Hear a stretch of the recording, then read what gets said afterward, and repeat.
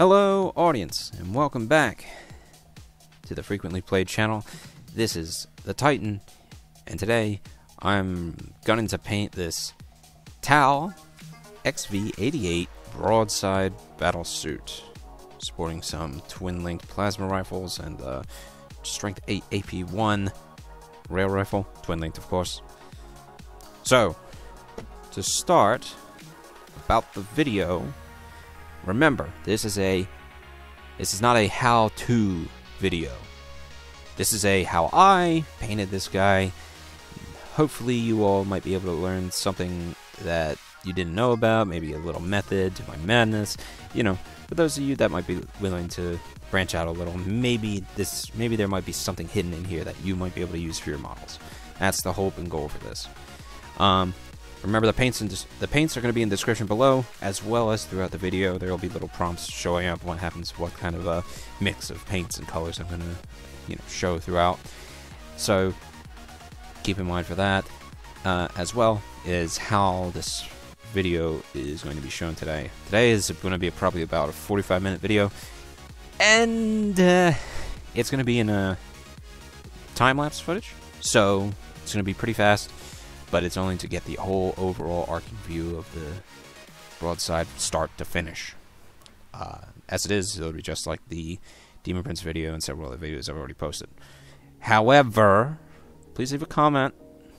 I want to know exactly what it is that you all might want to see, because uh, uh, I don't know if you like time-lapse footage. Uh, maybe you only want to see me deal with one part at a time. You know, things like that. Just let me know. But I can tell you, this guy is already glued to his base. I'm not going to be showing a basing uh, part today on this video, but expect in the future really soon a basing video. It'll be a lot shorter than this one, and it's a lot simpler, but man, does it have the looks to it. So, um, keep on the lookout for that. And remember, this is a how I did this video, not how you should. It's just method to madness here. I'll be posting this up on uh, YouTube whenever I can. I'll also be posting this up on a Warhammer 40k uh, fan page site. It has like 30,000 members, I believe. Uh, send a request to them. Shout out to them. And uh, yeah, if you're interested in Warhammer, I recommend uh, filling out a um, just giving them a shout out. So, as is, grab your models, grab your paints, uh, sit back, listen to me just talk and blabble around, and uh, yeah, let's get started. Alright, everyone, let's get started. So, to begin with the paints, uh, I'm actually not using Citadel at the moment. Um, I'm actually reusing and trying to get rid of a lot of additional paints, but the paints that I have, I'm going to match it up as well as I can for you all in the description with what is available at Citadel. Rem remember, these aren't. This is remember what I said earlier. You can paint uh, however you want to do this guy. I'm just here to show you what in the world I uh, started with and how I did it. So to begin, the model is already primed in a white, but I'm going to go about painting this in a ceramite. Uh, I'm going to cover this a little more with ceramite white or uh, a Celestra Gray, uh, for the reason that the purposes of the spray, the uh, spray primer, it only does so much.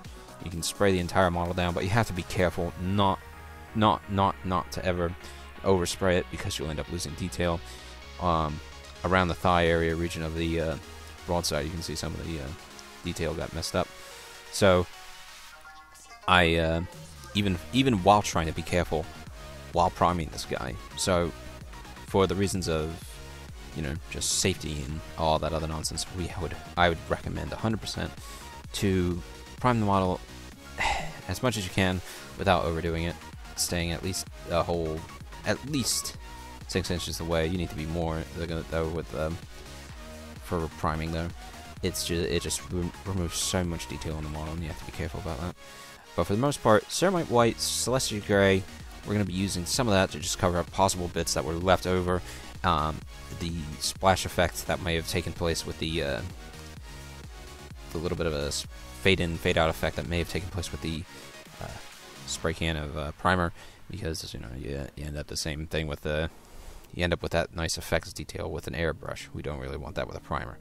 So for the most part, it's a little mm, more difficult, especially with an already built broadside who's kneeling. Uh, however, for you guys, if you still have the broadside unassembled, I'd probably recommend the uh, upper torso with separated arms and the legs separate. I believe it's just a simple ball joint that attaches it there. I'm not sure though. If not, I think it's the legs are just completely separate. Um, that's a good question. I don't remember. Hmm. Yeah, that's an interesting question. I actually don't remember. So, um, actually, what you all get to see now is, um, last time I recorded the video, it was on a simple webcam. There was nothing interesting at all about it. This time I have a Canon R700, for those of you that are interested in what I'm using right now. Uh, I'm using Canon RX 700. I think that's what it is. Man, a lot of thinking about this. but, uh, yeah, it costs around uh, $280 uh, US, that is. And uh, the uh, it has been a fantastic little camera. And uh, spoiler alert, there might be some upcoming battle reports to film for you all. we have a new mat, so very excited for that. By new mat, I mean the only mat we have available at this time. so, yeah, expect me and my brother to put some actual battle reports out. Underneath the broadside here, we're gonna have to get in really difficult with this. Uh, using a simple flathead brush, anything to just paint uh, the model. Not we're not looking for fast. We're looking for nice even amounts of paint throughout. So uh, for a broadside for the Tau, it's actually really difficult to do this. Whereas some of the models with harder flat surface, flat surfaces, I'm talking about Imperium, Imperial Guard, it's easy to just layer a base paint down if need be, especially on their um, mech-like units. Uh, uh, some of their mech-like units. Let's just let's kind of you know blessings here. so as it is though, the broadsides, the Tau overall are just kind of a little more difficult to paint. Uh, the especially when they're glued together. Like you, for me, you'd be better off trying to prime this guy when he's separate. Uh, also, the amount of weapons on these guys is ridiculous. So, for those of you aiming for WYSIWYG, I would recommend like what you see is what you get you know, for those types of battles, and things like that, you're gonna have to try really hard. You know, be careful about what on earth you, uh, be careful about what on earth you put on the guy. For me, I'm all about rail rifles and plasma rifles, so that's fun and all. But uh, you know, you have to, you always have to be careful about what on earth you put on the models, uh, if you want to go for that. This is exactly what I want to run my model as. So make sure Alright, so once we have that base paint down, the once we have the entire uh, model hit with the, at least the ceramite white or the celestra gray, uh, usually that light, light white color, we're going to go ahead and branch out a little more into uh, our actual tricolor setup. And for this, we're actually going to be using a mix here. I know it's really, really harsh to bring in a mix so early, but the the mix is actually going to be the uh, what is it? I believe it's a zero zero. See, I won't. I don't. I won't ever pronounce it right. You all have to. You all have to help me here. A purple with uh, probably a mix of. Oh, what's the dark? Abaddon black. Abaddon. Abaddon. Yeah, Abaddon black. There you go. So the mix of the Xereus purple with a bit of Abaddon black that'll get you probably this mix here of this crazy dark purple. I personally do not like. Uh, I personally do not like the just having black. Abaddon black is probably like my worst color, just because I yeah not every for me it, black was uh, black as a neutral color on top of white is just a little too difficult for me to pull off especially on Tau, it probably would look pretty brilliant, but in my case, I was 100% set on purple. for those of you that have seen the uh, stealth video from a long, long time ago, this is actually the same color scheme, just with one more color, which we'll get to in a bit. Now, um, notice I'm just dotting around the place. We're gonna have to, I have to tell you what paints I'm using now. Ho ho! So, uh, and I'll have to explain my process. But what's happening here is I'm dotting out areas where I want the specific colors to be. I know where I want. I just need to figure out what would be cool, what might be able to stand out more, what pops out more. As remember, white white is going white is more forward, and black is far back. As it is, same applies for the cold and warm colors. Remember this. So, if anyone remembers art class, remember warm colors: red, yellow, orange. Those are going to be out front. Those are going to pop most, especially yellow. Red, you know, you know that bring, a lot of that brings out. So imagine, imagine something like yellow, orange Tau, you know, the, uh, the colors they technically are, but a bright, bright orange or yellow. That would be so cool, especially with this combination. One dark, one cool color, or one neutral color facing down, another neutral color on the opposite end of the spectrum, you know, the white or the black, and then that orange. Whew, that'd be pretty brilliant. But uh, as it is, I probably should actually mention what on earth I'm using. So the uh, paint that uh, I know it, I probably prompted it on the screen already, but what I'm painting right now is probably going to be the uh, was it was it was it was it the Genestealer purple? Yes, or anything close to it. Uh, otherwise, uh, using the simple version of the Xereus purple, like just the flat Xereus purple on this guy is a good uh, good little alternative to it. Uh, but for what I did, as I wanted something darker, and then something a little lighter. But the whole theme of it is a little bit of purple, purple everywhere. If it has, doesn't have purple in it, then you know, know, I'm not doing it right. But for the most part, Xereus purple mixed with some Abaddon black or some Genestealer mixed with, uh, you know, actually, if anything, we probably want to go Genestealer mixed with Xereus purple. That'll give it uh, a little bit more of a surprisingly more saturated. It'd probably give it a more saturated color, even though how uh, Genestealer Purple is a little, little, little, little less saturated than the uh, Xereus Purple. So, again, from the marked out positions that I dotted my brush with, we're just going to fill those in. And there's no need to rush. Uh, there's no need to rush, but there's no need to necessarily be as perfect as you want with your paints at this stage. Because remember, what's going to happen is, even after all this, we're going to go back with a celestra with the uh, with the white or celestra gray uh, we're gonna have to do some cleanup work. It always ends up being oh ceramite white by the way. Sorry, but uh, yeah, once this is all said and done, we still have to go back and get it all teetered up. You know, so for the most part, what I'm aiming at on this broadside and a lot of the Tau mechs is just the difference in uh, structural design. So, to give you an idea, what I'm after here, a lot of the over a lot of the uh, concave areas, I can't really say concave, but ones that are fall back, I'm gonna actually like bring out the dark, the darker purple. Ones that pop out a little more, like that shield. Notice how it like stands out a little more. Uh, I want that to be the lighter purple. So I want the lighter color up front first, facing most of the outer regions. Uh, I could do that for his shoulder pad right there on that uh, spherical on a, the spherical icona, but I'm going to avoid that for right now because I I soon will show you all my third paint, which will be pretty pretty pretty pretty uh, hectic to deal with. Now, what I'm doing right now is just uh, touching up a little more around and around the model. I'm probably gonna have to hit the back soon, but uh, right now I'm gonna attempt to do the plasma rifles.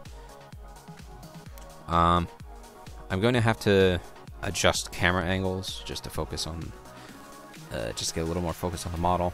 I have a good basis where I want the model to stand, where I'm holding him right now, but uh, the way I have the camera set up on the tripod, it just gets hidden behind my hand so often that we'll have to, you know, consider redoing where we want the camera position. So right now, we're just going to touch up a little more. make sure that everything's all set and done. Um, free wall, I what I did for the most part of the video was I kept jumping to different places. I'd recommend avoiding that altogether. Stick with one color, and remember, if you didn't don't want it in the spot, remember you can always paint over it. Just keep keep um, keep it light, keep it simple. And for what it's worth, remember the the Citadel layer paints. Uh, most of the time, uh, like they're pretty soft to work around. They're uh, they're a lot e they're a lot easier to mix with water. They're a lot easier to mix with uh, mediums. So, for the purposes of the uh, Citadel paints, it's a little easier to cover up. However, Citadel paints just cost a lot of money, let me tell you. So, um, just dot it out first. Like, dot out what you might want your, uh, what you want your color scheme to be, and not just what your color scheme is, but how you're going to place it on the model. For me, I was like, okay, let's choose the outer regions, the places that stand out uh, most, that stick out the most, like uh, at the edge of the gun, the front of that chest plate there, the end of the shoulder pad, the end tip of the gun, you know, just the ends of everything. Lots and lots and lots of these bright purples. While the inner areas, the ones that are concave, you know, more in towards the body, are going to be a little darker. It does bring out a little more, but uh, for just for the effect, I believe it was pretty awesome. So, as it is though, remember, Citadel paints they cost quite a bit, uh, and for what it's worth, I believe you can just. I'm using a really heavy paint, so it's hard to paint over this. You know, to do corrections. So a lot of my time is being spent dotting out areas that I think I would like to paint, and then being as careful as possible to apply as much water as possible, just so I don't, you know, overdo it, and then it looks just I have to keep applying layer upon layer just to fix it, and then we just lose detail in the model. Like I said before, he's on the base, so it's going to be very difficult to... besides being very difficult to see his, uh, his lower half, it's a lot harder to paint. Let me tell you. but, uh, oof, the... For the most part, we're actually doing this guy is actually looking pretty wicked. Um, now, soon now I will be introducing the third color. Uh, yeah, see right there, I actually make a mistake. I'm interested in. Uh, I'm not sure if I'm interested in that color being there. You know it is on the tip. So for the most part, I'm gonna go while I figure that out. I go back with my white and start cleaning it up a little. So each time, once you know that your paint's dry from one setup of paint, go back and give it a little bit of a clean. Even if you start painting it again with another color and that one becomes dirty, you know, just knowing that it's all set up and done, you know, makes it easier over time. Makes it having colors stick around places that you don't want them to be. It just becomes a garbled mess. The uh, the one thing about the I, I really love the broadsides personally. I uh, we even with the Stormsurge uh, and riptides all around the 40k universe right now, uh, it's the broadsides that sell it for me. Absolutely broadsides. Rail rifles or missile variants, and all the missile drones included. So, you know, I love it. Love it all. So right now we're going to. I have to put on a second layer of paint free wall because with all the mixing I've been doing with the water and such, it's going to be a lot more difficult to apply this paint and have it like not interfere with the white. So, um, another thing, I know that I last time I did a dry brushing method on one of the mech suits. That's okay. To be fairly honest, I'm going to save a lot of the dry brush, a lot of the uh, more, I guess, uh, I guess rougher painting techniques for the actual for actual uh, organic models. Because the Demon Prince just sell that was he just sold the look so well, and even still, I tried to mix the concept of this is an organic model. We're gonna do some awesome shading with dry brush, but in the end, in the end, it's actually the it's actually flesh and uh, organic material that just makes the makes the thing stick out more. Whereas this, this I believe that's the nice flat, you know, sharp edged colors that just make the uh, mechs and the tanks so so brilliant. So there it will be uh, just tons and tons and tons of differences whenever whatever model we build, whatever model we paint.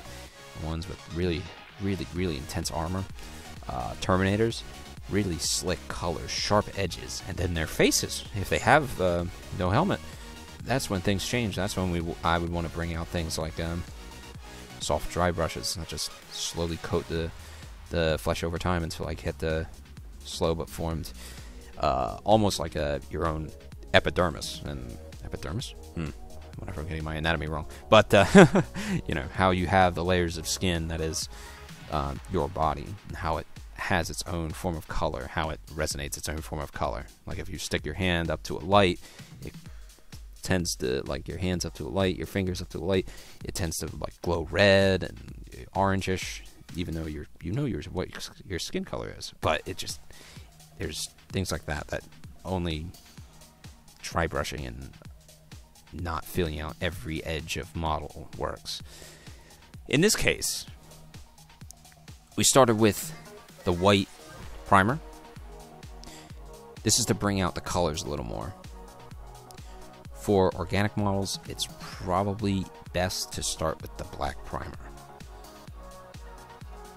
This way, for me, at least for me, what will happen is when I do the when I uh, prime the organic model with black, when I go in for nice, beautiful shades and build up color, I still leave that black primer there.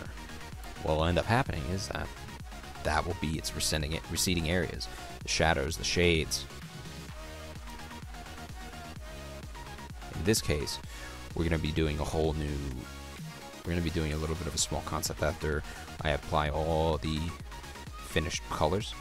We'll be applying a shade um, to the crevices, and that'll make it stand out a little more for sure. Especially the parts that get lost in the white a little. We need to bring that back. Yeah, the same thing. It's harder for black primer though, if unless you paint over it. So the receded areas, if you miss them and it's still black, there's honestly little to no point of uh, shading those cre- uh, crevices in because at that point it's already black. But again, that's if that's if it gets painted. So right now we're going to start cleaning up the feet. It's going to be a little choppy mess down there for a while. I choose to go about painting solid, uh, some areas of the forearm that just uh, are just concave, a little more concave. Just kind of like right on his uh, forearm there. And we're to clean up the helmet, the helmet, the I guess the uh, head of the broadside a little. We're going to paint all, all the inside of the face and then we'll be doing our own little effects on the lens or visual effects later. Uh, we're going to add some darker lines to the, to the rifles. Slowly but surely. Tap some areas for detail. I'm going to bring this part out a little bit more with some color and not leave it white. I had, was tempted to leave it white at first, I decided to bring it back some because I was just not feeling it. So.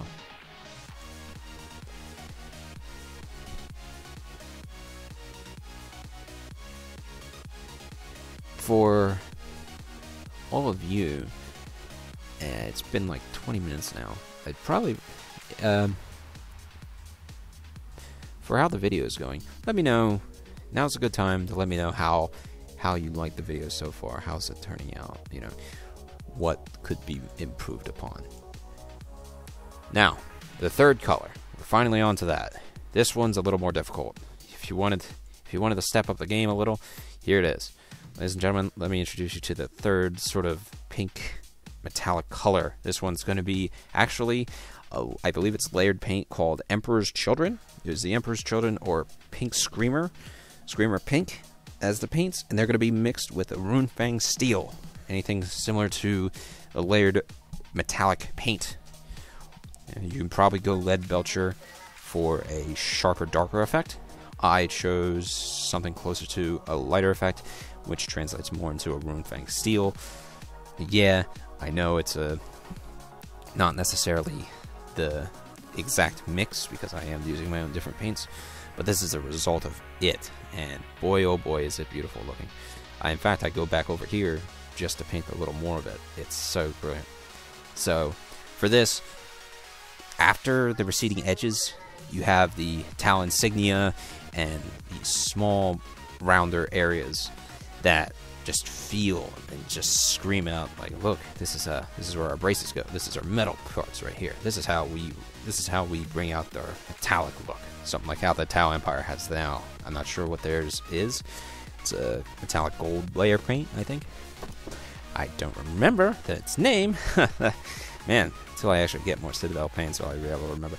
I have a good slew of them, but actually no, uh, nothing that matches the Tau colors right now. The actual, you know, orange and the orange pattern color. Uh, yeah, we're gonna take our Ceramite White again, or our uh,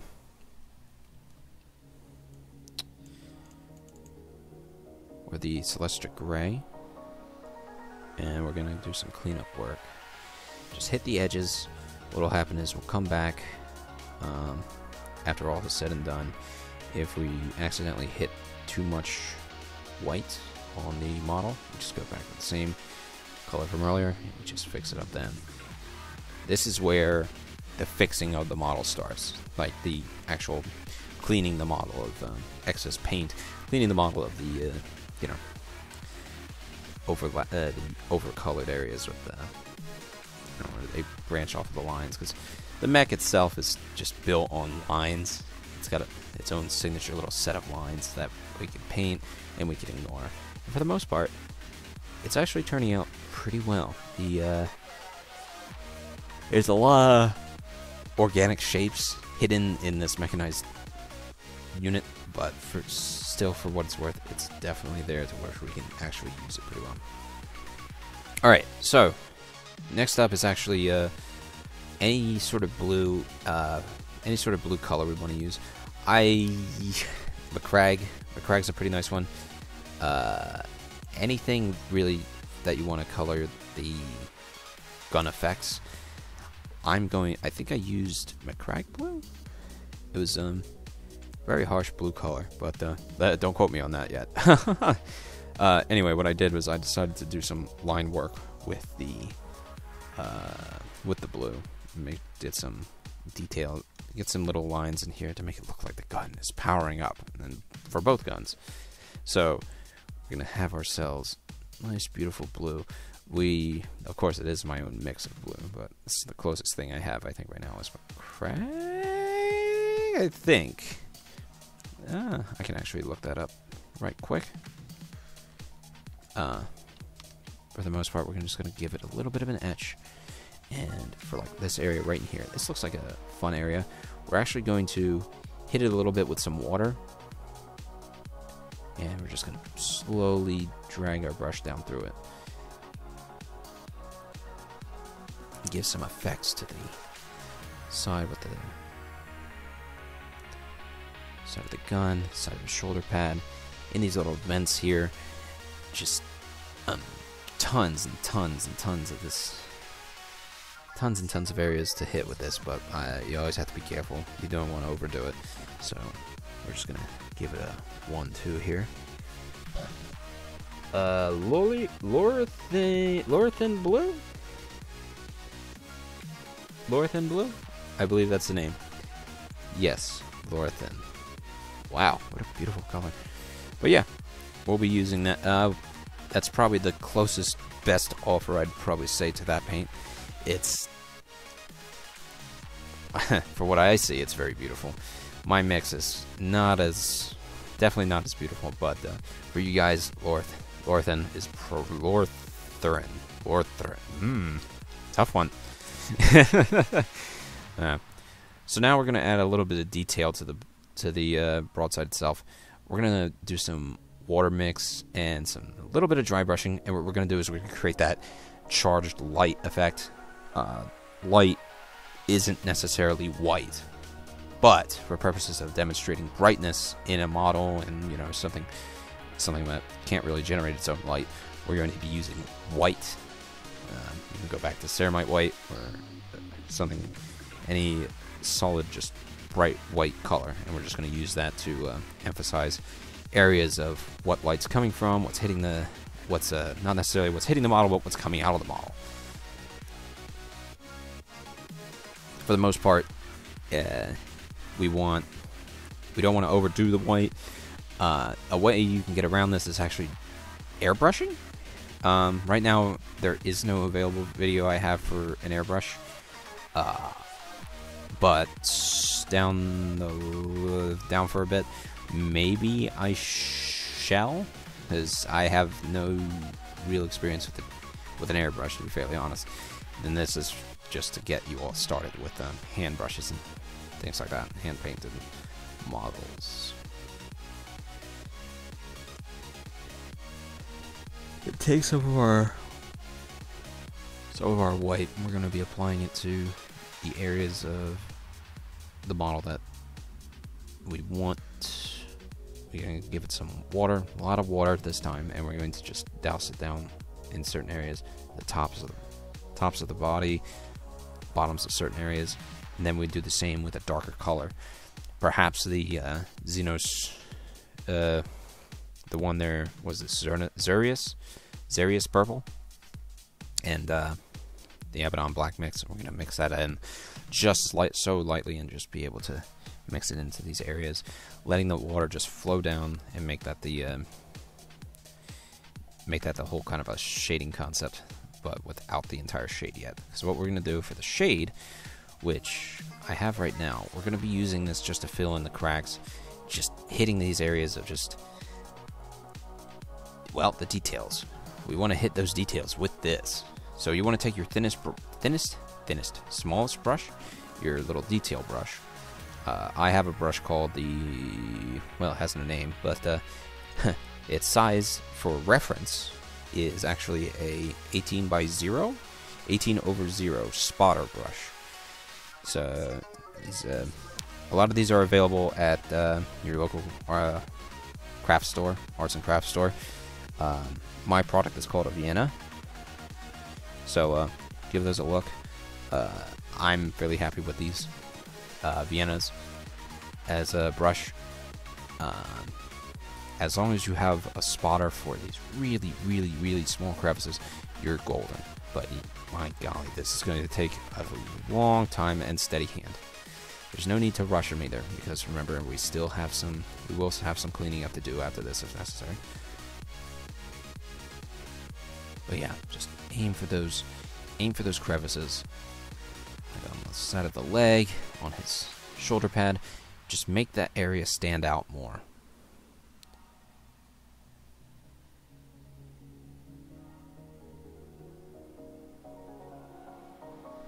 For the actual shade that we use, or I use, I'm using the Draken of Nightshade. I assume I said that right. but uh, we'll be using that as an uplifter. Hitting dark areas in those creases makes it, even from a distance, it's like, oh, this is a receding area. Man, that looks pretty nice. It's like, I know this is receding. I can see the details now in the model so much better. This is actually harder with your organic models. Really hard. So uh, for the most part, I will have another video about the organic, the organic models and ways to give those details back. So, but uh, a lot of times the organic models have to match their. Uh, uh, I either have to match or have the opposite shade. I know that sounds weird. It's like, why is it? What do you mean opposite shade? I mean opposite color. Having the having colors that complement each other in such a weird way is always a good thing. To give you an idea, uh, orange towel with blue highlights and blue visuals. Like, those are opposite ends of a color wheel. Opposite. But boy, do those give out some fun details when they're together. And when they're pushed together. You can't you can't force them together. You just have to slowly give them a unity.